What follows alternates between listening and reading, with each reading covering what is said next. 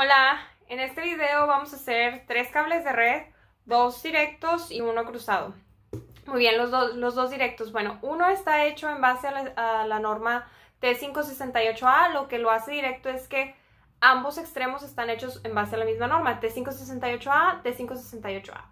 Y el otro cable directo está hecho con la norma T568B y T568B. Los cables directos nos sirven para hacer conexiones de switch a enrutador, de switch a PC o de hub a PC.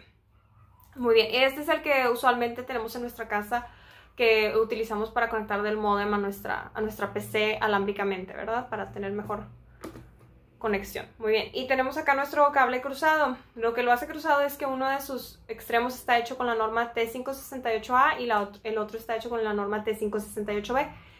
El cable cruzado lo utilizamos para hacer conexiones de switch a switch, de enrutador a enrutador, de PC a PC. Y en este video vamos a hacer los tres.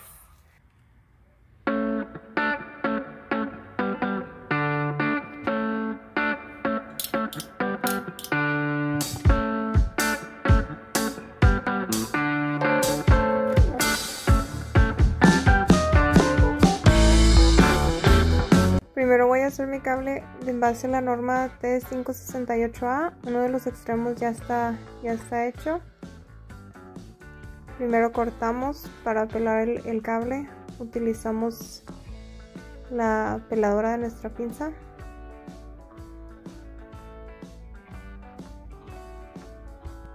Cortamos esta partecita con unas tijeras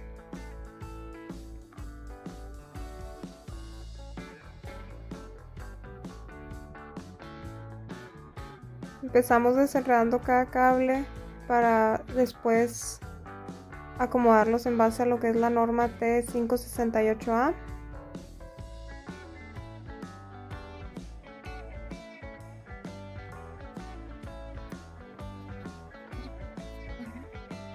Ya que los desenredé todos, empiezo a acomodarlos cada uno por en el, en el orden que van y asegurándome de que estén bien derechitos con los yemas de los dedos se puede se pueden manipular muy bien para que queden muy rectos como que los, los les hago un poco de, tensión para que puedan puedan estirarse bien porque entre más derechitos estén es más fácil meterlo a lo que es el conector ya que cuando lo estás introduciendo se te pueden se pueden cambiar de lugar muy fácilmente. Entonces tienen que estar bien derechitos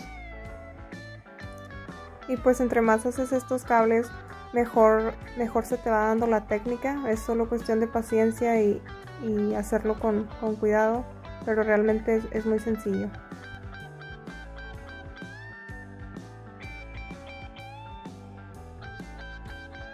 Aquí se puede verificar que está el orden correcto y pues ya podemos proceder a cortarlos con nuestra misma pinza ponchadora lo podemos cortar para que quede bien parejito y a la hora de que de que entre nuestro conector estén todos los, los cablecitos en el mismo, al mismo ras en la misma medida.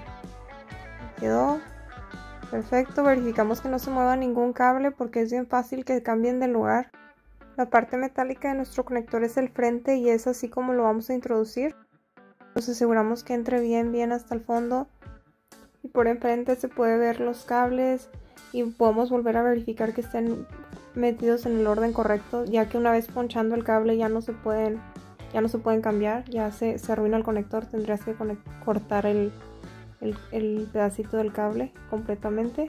Y ahora sí vamos a pasar a lo que es la la ponchadora. Y vamos a introducir nuestro nuestro conector y vamos a presionar a que se oiga el clic y ya quedó listo nuestro, nuestro cable. Ahora vamos a proceder a lo que es comprobar que si haya conectividad con la ayuda de un, de un tester. Con el tester se puede verificar la continuidad de los 8 pines de nuestro cable RJ45.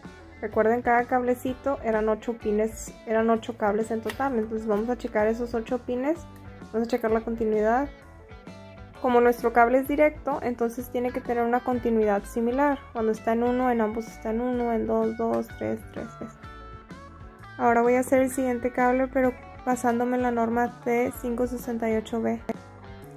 Es el mismo procedimiento, vamos a quitar los hilitos blancos con unas tijeras y vamos a, a desenredar los cables y aplanarlos lo más posible para después acomodarlos. Lo único que cambia va a ser el orden de los cables, el orden de los colores.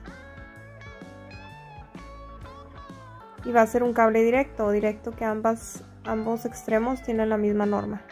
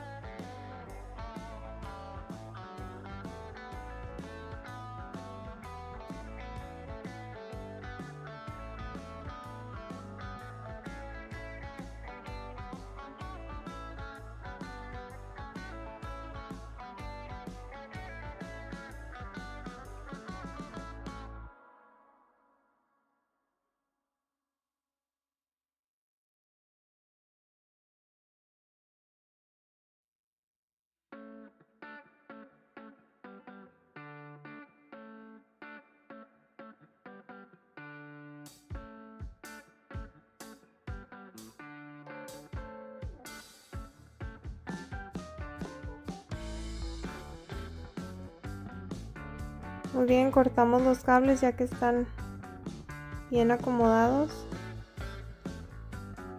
Y los vamos a introducir en lo que es nuestro conector. Aquí lo único que cambió fue el orden de los colores para que quedara con la norma de 568B. Muy bien, nos aseguramos que esté muy bien adentro y ponchamos. Oímos el clic.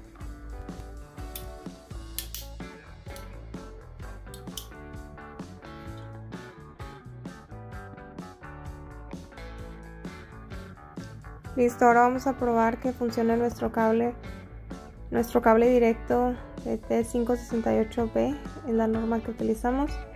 Lo vamos a conectar, lo prendemos y como es directo tiene una continuidad similar.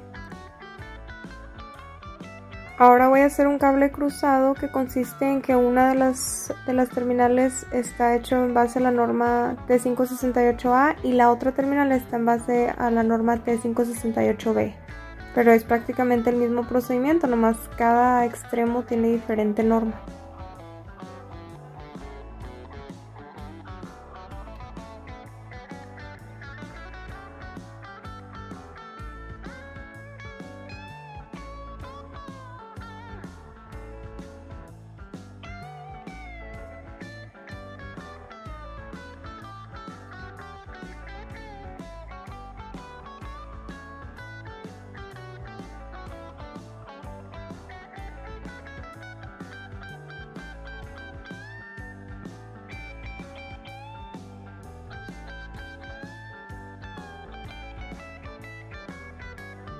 Este es el extremo en base a la norma T568A.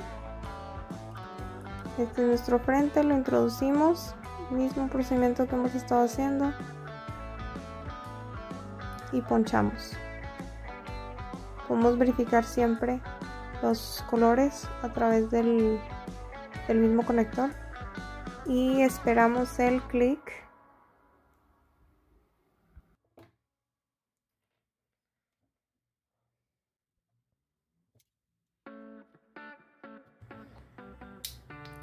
Ahora hacemos el otro extremo de nuestro cable en base a la norma T568B para que nos pueda quedar nuestro cable cruzado.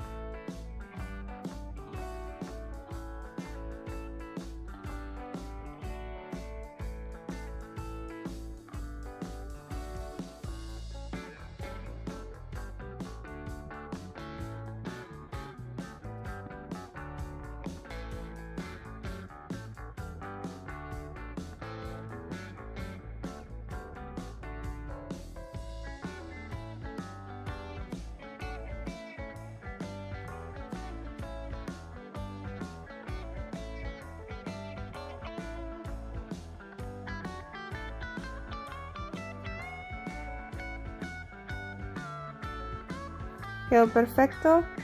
Nuestro orden en base a la norma T568B. Introducimos y hacemos el mismo procedimiento con la ponchadora.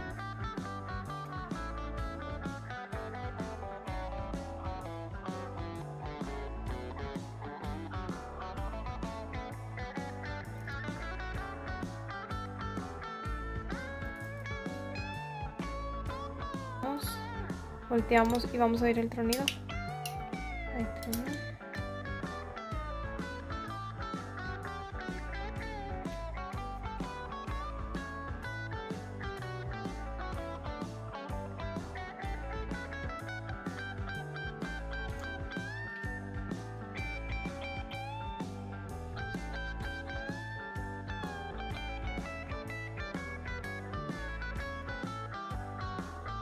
Como es un cable cruzado, pues va a ser el, orden un poco diferente. Pero aquí les dejo una imagen de cómo debe ser el orden del cable, cable cruzado. Como vemos en el tester es correcto. Como quiera moví mi switch a lo que es la S, que es slow, para que sea un poco más lento y puedas verificar que esté correcto. Y es todo. Espero les haya servido. Gracias.